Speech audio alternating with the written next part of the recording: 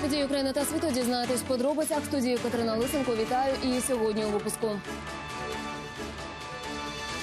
Суд іде у міжнародному трибуналі з морського права. Почали розглядати позов України проти Росії. Коли чекати на вердикт? Із бізнесу в Пентагон Дональд Трамп визначився з новим міністром оборони. Хто ця людина і як ставиться до України? П'ять років у полоні у Києві влаштували ходу з вимогою звільнити Олега Сенцова, які країни пообіцяли допомогти.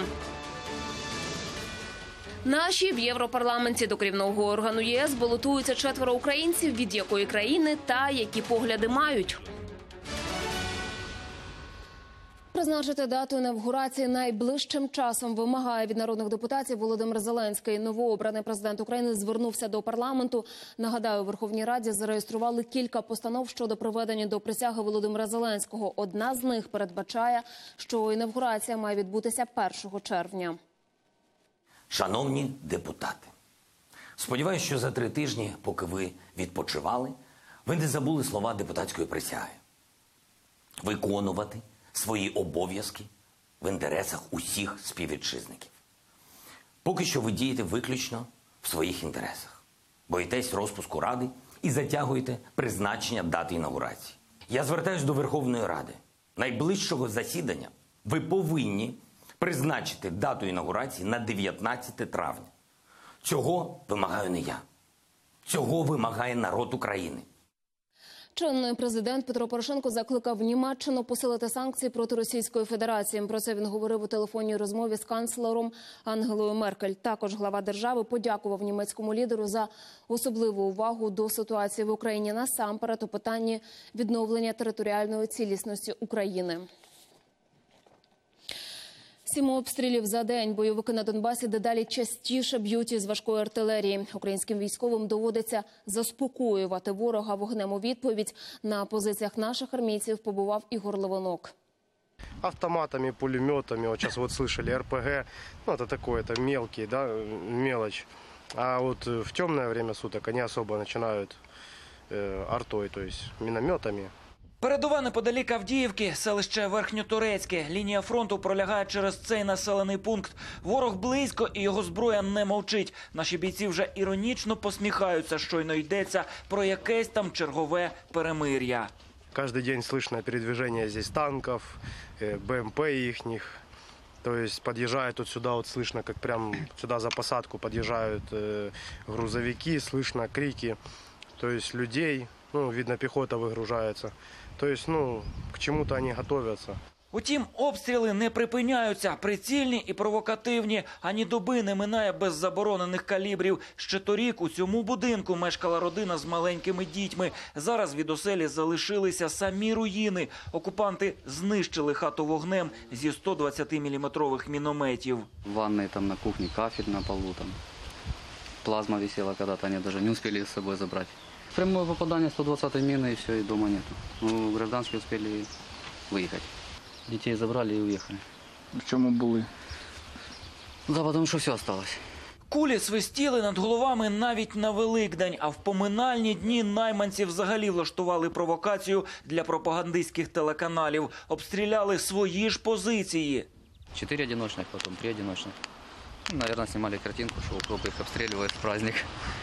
Нам же строго-настрого запретили вообще в ту сторону, в любую сторону стрелять, но туда особенно. Ну, они там как раз сделали картинку нормальную. Хлопці жартують, мовляв, воювати заборонено, зате копати шанці дозволено. Тож військові це й роблять майже під носом у бойовиків. Тут пригинайтесь, тут может снайпер работать. Вот тут мы так потихоньку пробиваемся вперед. Тут по 100, по 150 килограмм кирпичи. Вот такие вот. Порода. Это ж начинаем к ним вперед рваться туда. Ну, копаем. А их это бесит. И рубят нас со всего, чего попало. Из пулеметов, с автоматов. І підтвердження цих слів довго чекати не довелося. Вочевидь, ворог нас помітив.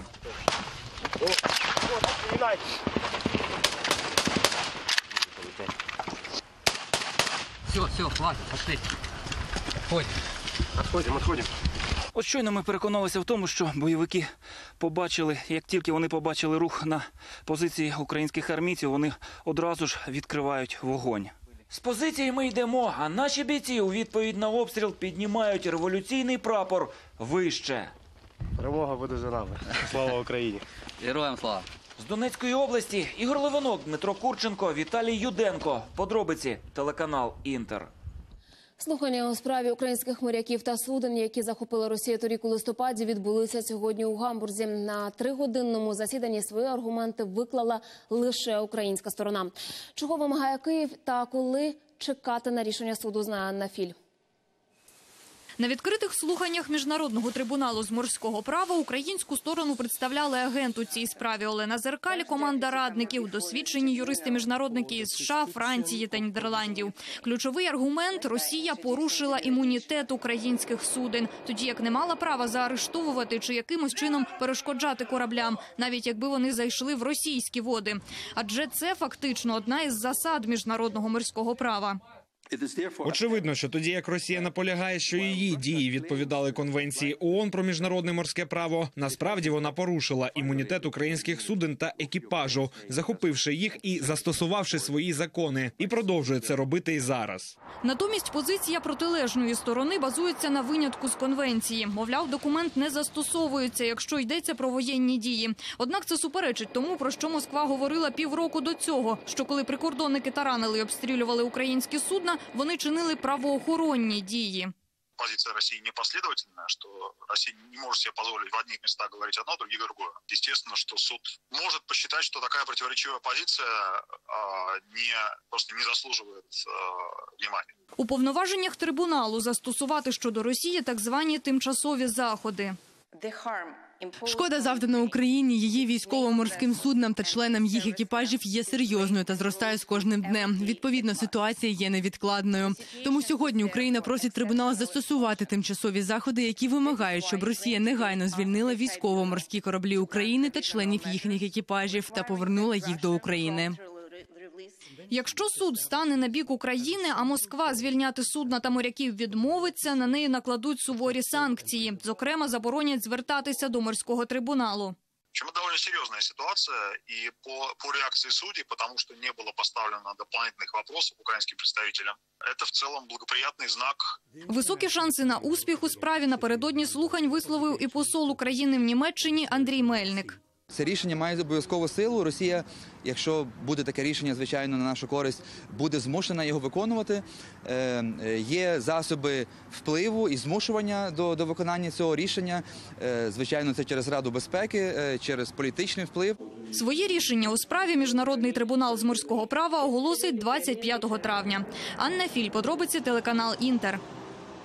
Звістка з полону лист від одного з 24 ув'язнених українських моряків нещодавно отримали другокласники Смілянської школи номер 7, що в ньому знає Станіслав Кухарчук. В сьомій смілянській школі перший урок тематичний. Класний керівник другого В зачитує дітям лист колишнього випускника Олега Мельничука. Полонений росіянами командир буксира Яни Капу надіслав його із СІЗО Лефортово. Спасибо за вашу поддержку, спасибо за письмо. Надеюсь, скоро вернусь домой и обязательно зайду к вам. Перед новим роком Олег отримав листівку від учнів і знайшов можливість відповісти на неї. Маленька Ліля розповідає, писали всім класом, хотіли хоч так підтримати земляка. Ми писали по реченню і, ну, і так ми його підтримували. А что Е, Ми дуже чекаємо на тебе. Е, Коли ти приїдеш, заходь в нашу сьому школу, в другий В клас. Та віра у швидке повернення бранців тане з кожним засіданням суду. Усіма міжнародними інституціями 24 українських моряки визнані військовополоненими, а отже, не підсудними в Росії. Та попри це, вони вже півроку перебувають у в'язниці за підозрою, начебто в незаконному перетині державного кордону цієї країни. Обвиняемому не может быть издана иная мера пресечения. Вправе обвиняемому меру пресечения и заключения под стражей сроком до 25 января 2019 года. На засіданнях батько Олега ніколи не був. В'їзна до Росії тільки мама моряка. Михайло обережно розкладає листівки, малюнки і світлини, які хотів відіслати синові. Та у Лефортово навіть їх не приймають. За півроку батько отримав тільки одного листа від Олега. Його передали потайки через небайдужих людей. Вас люблю, цілую Олег. Командир рейдового буксиру Яни Капов, старшина першої стаї Олег Михайлович Мельничук. Михайло переконаний, родичів позбавили змоги зв'язатися з хлопцями, щоб зламати їхній дух. Зв'язок тільки є через адвоката і консула. Тобто, перед тим як адвокат або консул попадає до сина, то він з нами зв'язується. Ми пишемо листи, пишемо запитання, які ми хочемо, ну, щоб він задав, і почути відповідь. І таким чином ми спілкуємося. Єдиним шансом на звільнення Олега Мельничука і його побратимів залишається міжнародний трибунал із морського права. Станіслав Кухарчук, Павло Тимошенко, подробиці телеканал Інтер, Черкаська область. Сьогодні п'ята річниця з дня арешту Олега Сенцова. Звільнити його та інших бранців вкотре вимагали громадські активісти у Києві. Написали звернення до посольств європейських країн і влаштували імпровізовану ходу вулицями Києва. Як усе було, бачила Олена Зоріна. Із бинтами, плакатами та ланцюгами саме так кілька десятків громадських активістів прийшли підтримати українських бранців. Цей ланцюг він символізує те, що зараз на даний момент досі, через 5 років після початку агресії з, боку Росії, досі є політв'язні, і вони досі не звільнені. Тут мене написано «Activist not a terrorist», Є різні надписи там, де пише «Artist not a terrorist» – Це про Сенцова, який є режисером, і де пише, що він є митцем, а не терористом. Буде зав'язано, по перше, руки. Тобто символ того, що вони не можуть нічого зробити. А по-друге, за- заклеєно е, рот, що вони не можуть не мають права щось сказати. У руках організаторів листи для дипломатів країн-членів Ради Європи. Наразі в мене е, Кіпр, Австрія, Чехія, Грузія, Данія, Швеція, Німеччина. Ми зараз відвідуємо 14 посольств. Свою акцію вони присвятили не лише п'ятій річниці ув'язнення режисера Олега Сенцова, а й засіданню комітету міністрів Ради Європи, яке має відбутися у Гельсінки наступного тижня. Під час цієї зустрічі з Кремля можуть зняти санкції, і запустити механізм повернення до складу пар'є. Наша позиція така, що поки Росія не поверне всіх політичних ув'язнених українців в Росії, це 98 людей. Поки не звільнять 120 наших бранців на Донбасі, поки не звільнять 24 військовополонених моряків, жодних перемовин навіть про повернення і право голосу в ПАРЄ вестися не може. І ми хочемо донести наш наш посил, наш меседж до міністрів країн-членів ПАРЄ. Мовчазною ходою під брязкіт ланцюгів вони двома колонами прямують до посольств. Розпочинають із представництва Німеччини в Україні. Тутешні дипломати питання полонених називають вкрай важливим і обіцяють підтримати. Я буду пересилати цей лист е, Берліну. Ем, Можу е, під- підтвердити, е, що ми не, не визнаємо незаконну анексію Криму. Ми регулярно закликаємо Росію звільнити всіх українських ув'язнених, у тому числі Олег Сенцов А от в австрійській амбасаді гостей з плакатами та ще й журналістами, вочевидь, не дуже чекали. Нам говорили, що буде співробітник, який вийде і прийме. Якщо не вийде раптом, там є офіційна скринька, ми тоді будемо опускати в офіційну скриньку. Та все ж скринька не знадобилась. Представник посольства виходить і теж забирає листа. Я вам дуже дякую. Я цю інформацію обов'язково передам як пані посол, так і першому секретарю. Поставлю в звичність. Активісти прямують далі до інших представництв. Свою позицію прагнуть донести усім. Переконані, без зовнішнього тиску на Росію розв'язати це питання не вдасться. Олена Зоріна, Сергій Килимник. Подробиці телеканал Інтер. Зміни в Пентагоні. Білий дім оголосив, що Трамп обрав нового міністра оборони. Хто очолить відомство і як він ставиться до України? Дмитро Новченко дізнавався про це у Вашингтоні. Трамп визначився керівником Пентагону. Він хоче бачити Патріка Шенахена, нинішнього ВО, голови американського військового відомства. Кандидат не є військовим. Він прийшов із бізнесу. 30 років працював у корпорації Боїнг. Вершина кар'єри, посада старшого віцепрезидента компанії. У Міноборони з'явився як людина Трампа у липні 17-го. І преса його майже не помічала до січня цього року, коли генерал Метіс настільки втомився від суперечок із президентом, що подав у відставку. І Шенахен почав керувати міністерством оборони, як багато хто вважав тимчасово. Поза очі про Шенахана кажуть, це людина, яка ніколи не конфліктуватиме із главою держави. Наприклад, він спокійно дав команду виділити гроші із військового бюджету на будівництво мексиканської прикордонної стіни. У приватних розмовах чиновник неодноразово говорив, Пентагон взагалі не може бути відомством, де кажуть ні. Останні місяці Шенхан був під слідством, тривала внутрішня перевірка, чи не було порушень під час обговорення комерційних контрактів. Але зараз все позаду і негайно з'явилося подання. Але це поки що пропозиція. Міністр оборони затверджує конгрес. І тут, як кажуть у парламентських кулуарах, кандидатурою не дуже і задоволені. І такої одностайної підтримки, як колись у Метіса, цього разу не буде. Але голосів має вистачити. Прогнозують, що Білий Дім зможе організувати підтримку своєму протеже. ВО міністра оборони довів протягом останніх кількох місяців, що він більш ніж кваліфікована людина, щоб очолити міністерство. Тож він і продовжить чудово виконувати цю роботу. А яке ставлення майбутнього міністра до України? У Пентагоні мене неофіційно запевнили, хвилюватися не варто. Шенахан повністю підтримує надання військової допомоги Києву. Головне, щоб ці плани позиції Білого Дому не суперечили. Отже, очікується спокійна планова робота без зайвої публічності.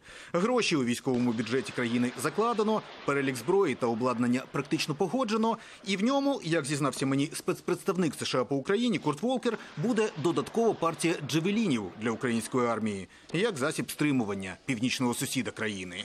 Зі Сполучених Штатів Дмитро Анопченко, Сергій Дубінін, американське бюро телеканалу Інтер.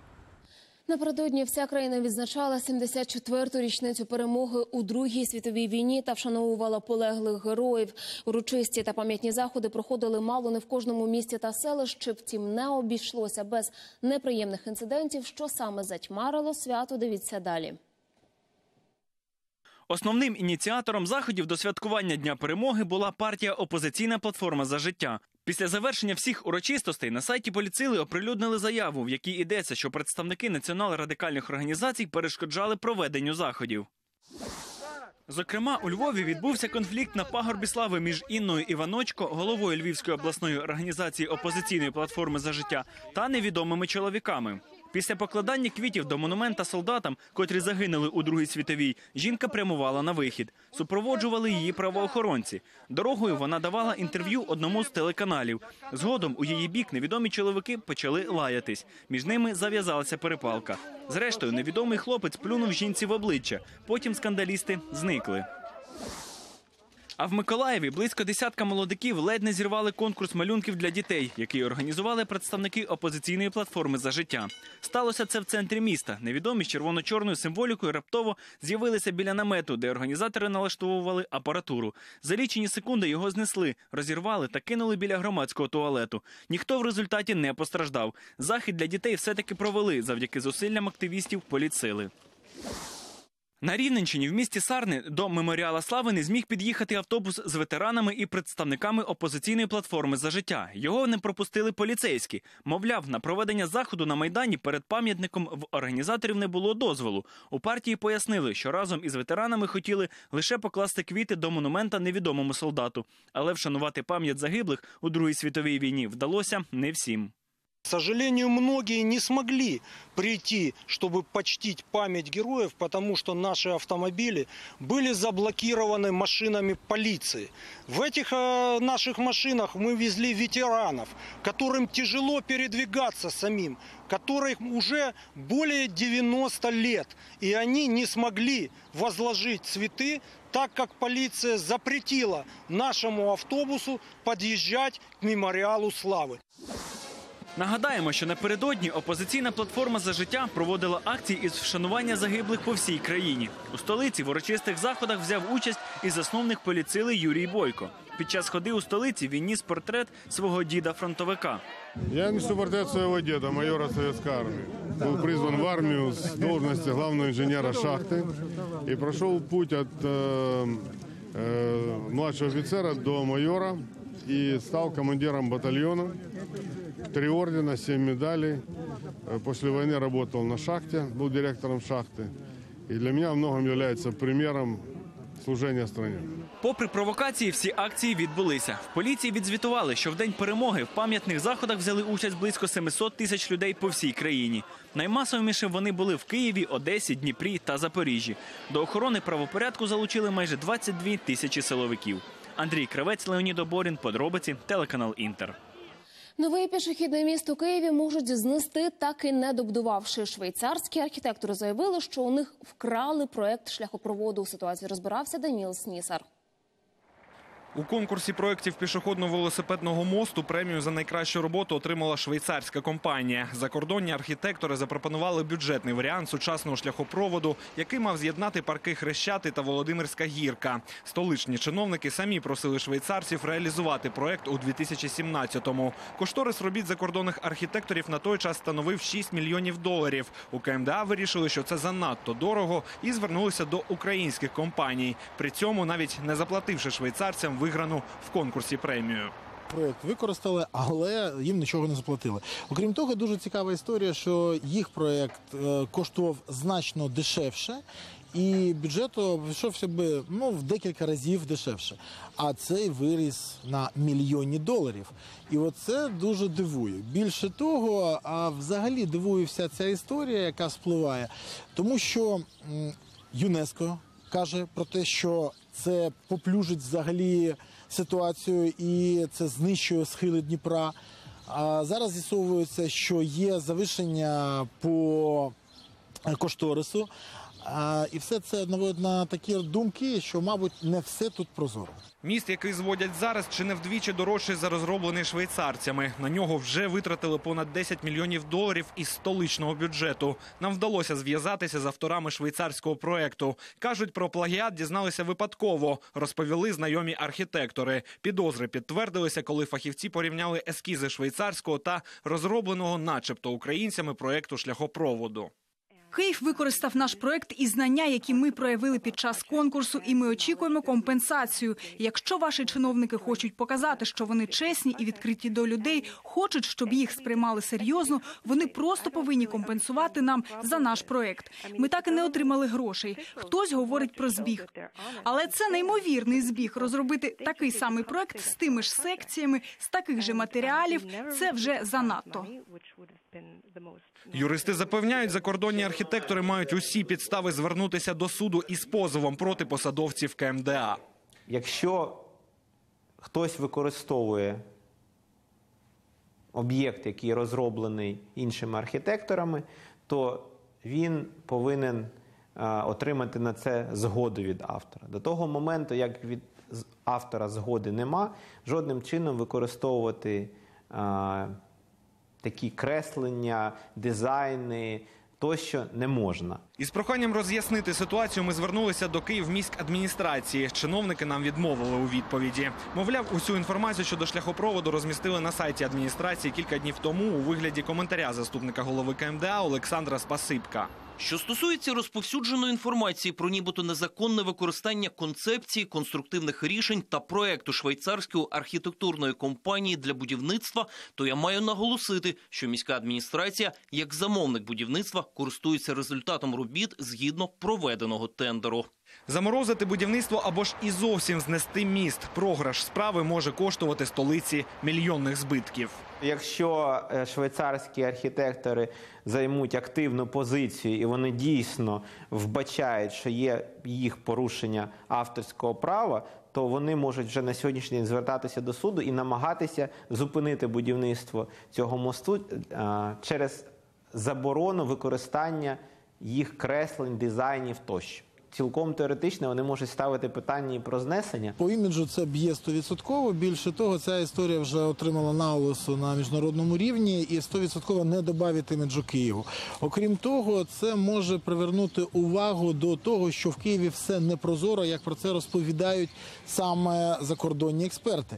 І коли ми в парламентській асамблеї Ради Європи розповідаємо, що ні, ми більш-менш рятуємо ситуацію, і все рано чи пізно стане в законному руслі, то вони покажуть, а це що, як з цим боротися. У швейцарській компанії нам розповіли, що намагатимуться вирішити конфлікт мирним шляхом, та поки що столична влада проблему ігнорує. Даніл Снісар, Олександр Горський, Максим Чеблін. Подробиці, телеканал Інтер.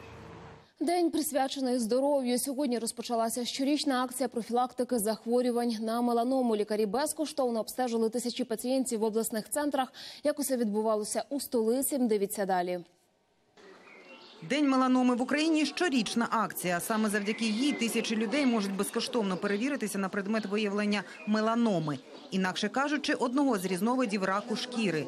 Огляди проводять у всіх великих містах, але є й такі люди, які з регіонів вирушають до Києва, зокрема в інститут дерматології доктора Богомолець. Не так часто для пенсіонерів є якісь безкоштовні акції з боку е, охорони здоров'я. Тому я приїхала сюди. Мені дуже приємно те, що, е, по-перше, атмосфера дуже гарно зустрічають, всі посміхаються, ніяких черг немає. До тебе ставляться з повагою. Я з Хмельницької області, з районного центру. У нас вузького спеціаліста такого немає. Треба їхати в обласний центр в Корж-Вен-диспансер. Уже до обіду кожен лікар оглянув більше ніж півсотні пацієнтів. У двох із 50 було виявлено меланому. Здебільшого це перша стадія, яка лікується хірургічним шляхом. Цей чоловік на огляд потрапив випадково. Во-первых, то, что бесплатно. Я пенсионер, и меня это, так сказать, волнует. Вот. Ну и потом я заметил, что вот это вот у меня образование, оно было сначала темное, потом стало светлее. Вот. Ну, я думал, что это не очень опасно, все-таки до такого возраста дожил. Вот. Но теперь решил прийти, провериться. Йому пощастило. Захворювання виявили на ранній стадії. Лікування буде легким і триватиме щонайбільше тиждень. В режимі скринінгу, тобто це досить швидкий огляд, але ми в такому режимі можемо виявити меланому. Дуже е, просто. У нас є дерматоскоп, ми робимо знімочок і одразу е, можемо запідозрити цю пухлину. Якщо меланома запущена, якщо людина дивиться, що щось у неї росте, не звертається до лікаря. Думає, що можна нічого не робити, пухлина проростає, метастазує, і тоді вже це надзвичайно агресивно. Тому виявити хворобу важливо якомога раніше, каже лікар. І зазначає, перевірити своє здоров'я приходять здебільшого молодь, інколи цілими сім'ями з дітьми. Спеціалісти кажуть, така тенденція прогнозована, адже мета цих акцій звернути увагу на дану проблему тих, хто рідко про це замислюється. Де саме можна пройти огляд, здебільшого люди дізнаються із соцмереж, але багато хто про такі дані не знає. Тож до акції залучають волонтерів, пояснюють організатори. Как ассоциация мы ставим перед собой уже задачу не только снизить смертность, но и повысить общий уровень знаний населения о меланоме, о проблемах, сделать так, чтобы население само о себе заботилось, чтобы оно находило. У нас есть сайт Меланома.нет, на котором есть э, график тех э, перечень тех э, организаций медицинских, которых сегодня проходят осмотры. Там достаточно много, они расположены по всей Украине.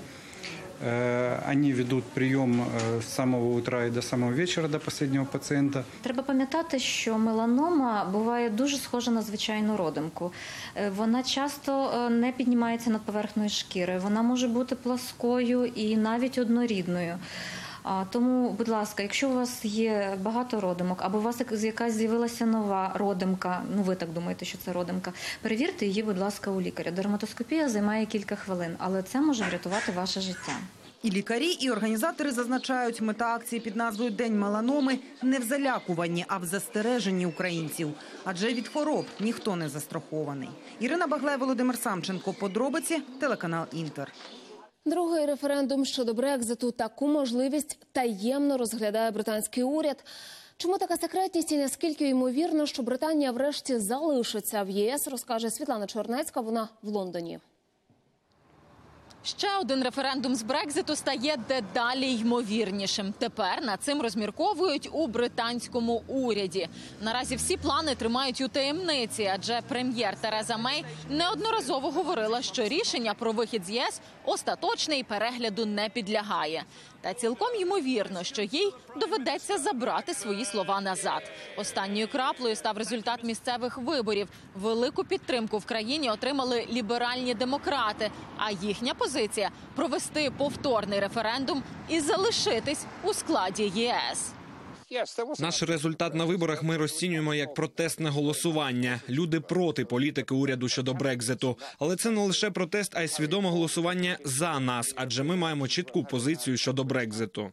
У самому уряді дедалі менше вірять у те, що в питанні Брекзиту відбудеться прорив. Остання надія на переговори з опозицією.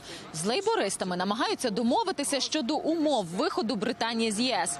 Але бачення майбутніх відносин між Лондоном і Брюсселем в уряду та опозиції кардинально різне. Перемовини йдуть дуже важко і наразі жодних результатів. Насправді дуже складно вести переговори з урядом, який розпадається на очах, з міністрами, які більше думають про те, як посунути прем'єра, аніж над пошуком компромісу. Тож, якщо нам не вдасться досягти гідної умови, ми підтримуємо варіант нового референдуму. Загнана в глухий кут влада справді може погодитися, що єдиний вихід це знову запитати в людей, що ж робити далі. У такому разі виборцям наймовірніше поставлять три запитання: чи повинна країна вийти з ЄС з угодою, без угоди, чи взагалі відмовитися від виходу з Євросоюзу. І тоді буде дуже велика ймовірність, що Британія все ж таки нікуди не піде. Адже за останніми опитуваннями понад 60% виборців на другому референдумі проголосували б за те, щоб країна залишилася в європейській сім'ї. Світлана Чернецька, Юрій Романюк. Подробиці британське бюро телеканалу Інтер. До нового складу Європарламенту мають шанс потрапити українські мігранти. Вихідці з України є в переліку кандидатів від Польщі. Хто вони та які погляди мають, розкаже Олена Абрамович. Під куполом цієї будівлі збираються депутати з усієї Європи, точніше Євросоюзу. Це Європарламент. Українців досі тут не було. Та уже через місяць ситуація може змінитись. Ні, мова не про членство України в ЄС. Високі кабінети та крісла євродепутатів можуть вибороти українці, які отримали польське громадянство. І таких у списках польських партій наразі четверо з діаметрально протилежними політичними поглядами. Наприклад, від націоналістичного блоку правих балотується уродженка Донецька Лілія Мошечкова. Була помічена на демонстраціях з російським прапором, а ще їздила до окупованого Криму, що порушує законодавство України. Мошачкова контроверсійна постать, зважаючи на її політичні погляди. У грудні 2014 року жінка виступила проти візиту українського президента Петра Порошенка до Польщі. А у конфлікті на Донбасі вона підтримала проросійських сепаратистів. Лілія Мошачкова також любила фотографуватися з лідером байкерської групи Нічні вовки Олександром Хірургом Залдостановим, палким прихильником Володимира Путіна.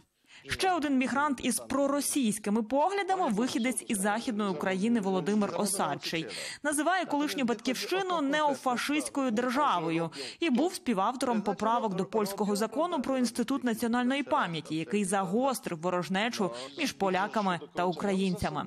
Потерпає від такої ворожнечі ще одна кандидатка з українським корінням Оксана Литвиненко. Її дитину цькували у польській школі, почепивши на портфель напис Українська мавпа. Мій чоловік пішов до школи, а там від бабусі автора цього напису, культурної та елегантної старенької, почув слова безпринципні різники. Оксана Литвиненко родом з Луганська має проукраїнські погляди. У соцмережах є її фото в рамці з вимогою звільнити ув'язненого в Росії українського режисера Олега Сенцова. Литвиненко активно бореться за права жінок. До Європарламенту балотується від лівої партії Весна, як і Лілія Твардош з Одеси. У мене є дві батьківщини Одеса та Краків. Зараз я можу зробити щось хороше для Польщі, а в майбутньому і для України. Чи вдасться потрапити колишнім українцям до Європарламенту, стане відомо вже скоро. Обиратимуть нових євродепутатів громадяни ЄС з 23 до 26 травня. Олена Абрамович, Іван Єрмаков. Подробиці. Європейське бюро телеканалу Інтер. Мандруючи небом, таку роботу художниця Зінаїда Льовочкіна презентувала в рамках венеційської бієнали. Вже традиційно в проєкті поєдналося українське етнос та універсальне мистецтво. Історію жіночого перетворення та духовності бачила Ксенія Барвіненко. Маленька дівчинка, жінка, яка готова віддавати материнську енергію та любов, і літня жінка з її мудрістю і прийняттям. Таку роботу Зінаїди Льовочкіної побачили гості та мистецтвознавці на виставці у рамках венеційської бієнале. Подивившись цю роботу, можна зрозуміти краще нашу країну, і роль жінки в житті, і загальну роль її всесвіті. Дівчина наречена і бабця. Е, Дівчина символізує це виховання, виховання жінки, саме її і духовне, і природне виховання. Жінка, яка є нареченою, це там е, та жінка, яка готується стати матір'ю. Це основна природна роль жінки народжувати, творити життя. І бабця саме символізує зрілу жінку, тобто символізує і знання, мудрість і вже та, яка е, закінчує той цикл жіночого життя. Зінаїда Льовочкіна, українська художниця, орієнтована на образи та міфи, які побутують навколо жіночих питань та жіночої ідентичності, як в українській, так і в світовій культурі. Тож і цього разу не зрадила своїм ідеям. Процесс подготовки к этой выставке был м, очень интересным. А, Мы представляем видеоработу Зинаиды. И мне, как куратору, а, нравится э, прослеживать творческий рост художницы. В 2015 году мы представляли проект «Черное намысто» Зинаиды, в котором она поднимала тему войны. В этом году мы представляем проект э, «Дакини», в котором, опять же, как это а, мы часто видим в проектах Зинаиды, а, она поднимает а, философские, такие очень глубокие, универсальные, общечеловеческие вопросы, например, вопросы человеческой судьбы, вопросы времени, те же вопросы каких-то событий, которые не подвластны силам человека. Це друга робота художниці, представлена в рамках венеційської бієнали. Куратори проєкту кажуть, щасливі знову побачити твори Зінаїди Льовочкіної на фестивалі, і дуже приємно споглядати за мистецьким розвитком художниці. Ми дуже раді бачити проект Зінаїди Льовочкиної в рамках Personal Structures. Це її друга робота на виставці. Добре, що вона повернулася. Готувати проект Зінаїди було величезним задоволенням. Вона працює з українськими етнічними мотивами. Вона супер в організації. Все пройшло дуже добре. Ми задоволені. Дакіні це жіноче медитативне божество у тибетському буддизмі. Її пов'язують із мудрістю, знанням та інтуїцією. Слово дакіні можна перекласти як та, що йде по небу. В часи кризи, війн, і особливо в ті часи, які ми зараз проходимо в нашій країні, е, е, та роль жінки вона змінюється. Жінка е, показує себе з іншого боку, і це показали події, які відбувалися на протязі революції гідності. Що саме жінка себе проявила в іншому, в іншій формі, в іншій поведінці. Тобто жінка стає і на політичну арену, і стає на арену соціального життя, і вона бере вже іншу роль, не тільки берегині своєї родини, не тільки роль е, жінки, як е, та, яка народжує, а та е, жінка, яка може змінювати. І е, себе позиціонувати е, як в демократичному політичному плані. Вона може брати і робити ту справу, які роблять чоловіки. Тобто вона виходить на політичну арену, вона не виходить на соціальне проявлення себе в соціумі. І е, в багатьох випадках навіть робить це найкраще ніж чоловіки. Від початку виставки минуло лише два дні. Втім, організатори зізнаються, вже отримали багато позитивних відгуків від критиків мистецтва і художників, які також представляють свої роботи на бієнале. Олег Єрмаков, Ксенія Барвіненко, Олексій Шматов. Подробиці телеканал Інтер. Від якого лиха потерпають Сполучені Штати, чому забрали водійське посвідчення у Девіда, Девіда Бекхема та який вигляд матимуть будинки на Марсі? Про це та інше в нашому огляді. Повені і торнадо накрили південь Сполучених Штатів. Щонайменше одна людина загинула. В Техасі і Канзасі затоплені дороги і пошкоджені споруди. Десятки тисяч будинків знеструмлені. За словами місцевих жителів, це найпотужніший удар стихії за останні 20 років. І прогнози синоптиків невтішні. У Техасі, Міссурі та Оклахомі дощитиме й надалі. У США презентували прототип космічного апарата для приземлення на місяць. На підкорення супутника Землі зазіхнув мільярдер Джеф Безос. Посадковий модуль отримав назву Blue Moon. Він зможе опускатися на поверхню місяця з корисним навантаженням до 6,5 тонн. Окрім цього, на даху апарата планують розмістити місяцехід. Над проектом працювали три роки і вже влітку тестуватимуть спеціально створений для апарата двигун. Девід Бекхем на півроку залишився без водійських прав. Посвідчення футболіста позбавив лондонський суд. Колишнього капітана англійської збірної упіймали на розмові по телефону за кермом. А це у Британії суворо заборонено. За таку провину суд додав Бекхему шість штрафних балів до вже нарахованих шести за інші порушення правил дорожнього руху і заборонив сідати за кермо протягом шести місяців. Якими будуть будинки на Марсі, знають у Нью-Йоркському агентстві дизайну та архітектури. У рамках чотириденного міжнародного конкурсу, який проводить НАСА, вчені надрукували на 3D-принтері макет домівки. Саме такої форми, на їхню думку, мають бути будинки для комфортних умов пристосування на червоній планеті. Будівництво тривало понад 10 годин. Науковці посіли перше місце і виграли півмільйона доларів. А в НАСА наголосили, що обов'язково візьмуть за взірець розробку агентства. На французькому острові Ренюйон внаслідок нападу акули загинув серфер. Про це повідомляють тамтешні змі. Свідок події розповів, що серфер підкорював хвилі протягом 20 хвилин, після чого зник з поля зору. Тоді очевидець і викликав службу порятунку. Ті лише констатували смерть. Наразі територія пляжу закрита для відвідування. Лічені хвилини залишилися до початку турніру зі змішаних єдиноборств Fight Kings. Напередодні учасники пройшли зважування та дізналися імена суперників. А вже сьогодні бійці нарешті з'їдуться у двобої. Як відбувалася підготовка до турніру, бачив Богдан Вербицький. Деякі прилади будуть світити на октагон, деякі будуть світити в зал. Підготовка до першого турніру зі змішаних єдиноборств під егідою Федерації професійного ММА триває від ранку. Перевіряють усе, навіть музику, під яку виходять бійці. І картинку для динамічної трансляції. Да. І зум на А Это отъехал. Ревер сделай. Транслюватимуть поєдинок сім телекамер. Сергій, оператор-постановник, зізнається, неодноразово працював на таких змаганнях. Однак цей турнір особливий. Для кожного з учасників підготували проморолик. Там заготовлены ролики специальные, промо-ролики о каждом спортсмене. Ну, это, это такое будет интро э, 360 градусов. за экраном, который у нас раздвигается, диодный экран, который э, может раздвинуться на две стороны, э, будет выходить боец. Он проходит по языку э, подиума к октагону. Здесь его будет э, проверять на готовность к бою судья, рефери. И, собственно, если все в порядке, он его допускает в клетку. Новий турнір викликав неабиякий ажіотаж, зізнаються організатори. На змаганнях очікують більш як тисячу глядачів. До начала самого, собственно, мероприятия у нас проданы все билеты, э, и телефон до сих пор звонит, люди хотят попасть. Участь у турнірі візьмуть 30 бійців. Більшість українці, однак є іноземці.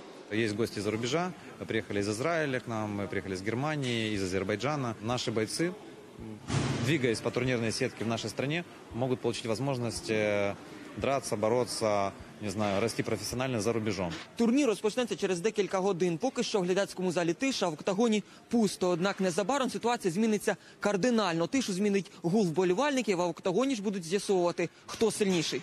Богдан Вербицький, Володимир Дєдов. Подробиці телеканал Інтер. Зараз глядацька зала має бути вже заповнена, адже старт турніру заплановано саме на ці хвилини. Богдан Вербицький нині перебуває на місці та готовий нам про все розказати.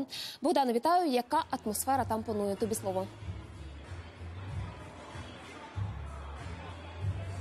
Катю, добрий вечір. Ну е, наразі в атмосфера дійсно на місці проведення змагань змінилася разюче. Тут вже сотні глядачів, десятки промоутерів. А самі учасники боїв прибули сюди. Ну трошки можливо раніше ніж за годину. А, зізнаються, що до поєдинку готували готувалися ретельно. Ну і звісно, кожен з них розраховує на перемогу. Нагадаю, що сьогодні відбудеться 13 поєдинків у різних у чотирьох вагових категоріях. По чотири бої у групах до 65 та 75 кілограмів. Три поєдинки в категорії до 70. Ну і врешті-решт наостанок, так би мовити, на десерт протистояння у найважчій категорії до 80 кілограмів відбудеться два протистояння. Ну і саме з представником останньої, так би мовити, найважчої категорії. Ми зараз поспілкуємося. Біля мене Єгор Іванов, боєць ММА. Єгоре, розкажи, будь ласка, як налаштовувався на сьогоднішній поєдинок і взагалі який настрій перед боєм? настроение, я чувствую адреналин и страх. Но это чувство борется с желанием победить и амбициями. То есть э, война, как бы и драка, на самом деле происходит не в клетке, а внутри. И она уже началась. Я сейчас уже внутри побеждаю себя. Е, Ти вчора дізнався про свого суперника. Скажи, будь ласка, чи вивчав його е, там до цього? Можливо, ви навіть е, з ним знайомі? Е, Чи можливо сьогодні там вночі там переглядав на Ютубі, можливо, його бої? Смотри, я лично с ним не знаком. А, У меня есть пару человек, которые с ним тренировались. Они мне в общих чертах рассказали, какой он боец. Я знаю, что он меня как бы превосходит в классе. Он мастер международного, э, мастер спорта международного, международного класса, э, то есть профессиональный боец. Вот, но я готов э, с ним драться в стойке, я готов бороться. Э, Самое главное это моральный настрой. Действительно, когда я узнал вчера, что мой соперник именно он, а он все-таки классом выше, э, я почувствовал, естественно, ну, я не обрадовался, скажем так, но я перенастроился, сейчас я саккумулировал все эне- всю силу свою, всю энергию, именно моральную, и я готов к бою. Єгоре, дякую тобі. Ми тебе відпускаємо готуватися. Ну а ми залишаємося тут. І хто з бійців стане переможцем, вже розкажемо завтра о 20.00 в подробицях. Катю, тобі слово. Дякую, Богдане. Богдан Вербицький був з нами на прямому зв'язку. Він продовжує стежити за турніром зі змішаних єдиноборств. Більше новин, як завжди, на нашому сайті. Подробності є. Я в прямому ефірі побачимося вже завтра. Я бажаю вам гарного вечора та до зустрічі.